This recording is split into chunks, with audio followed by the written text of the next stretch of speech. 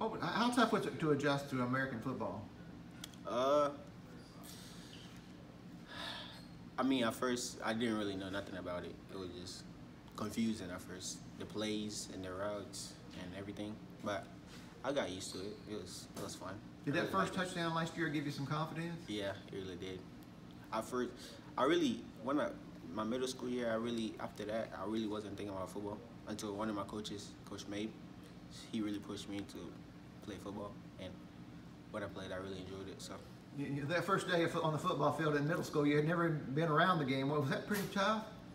I mean, it was, yeah, but I just joined the team just to be on the football team. I didn't really expect to play because I wasn't good. They had better people that were way better than me, so So are you getting better with each practice and game? yes. What are you learning? What are you um, learning? Uh, I'm learning different things, how to communicate with my teammates, uh, reading plays on defense, route running and stuff. Is a strong point of your game speed, or, Yeah, speed. so you like when teams uh, single coverage and uh, press you there? Yeah, because I know I can beat them with speed. Is that a challenge to you then? uh, when people cover cover me, Yeah, single coverage and, and press you.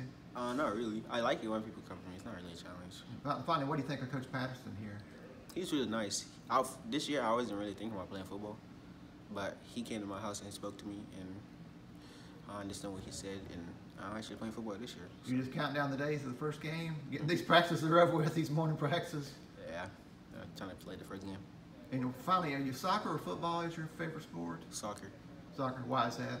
because I grew up with soccer. I really like soccer. I'm really good at it, and I hope one day I can get a scholarship for it. Oh, really? You, you get, you get better with that too. You, hmm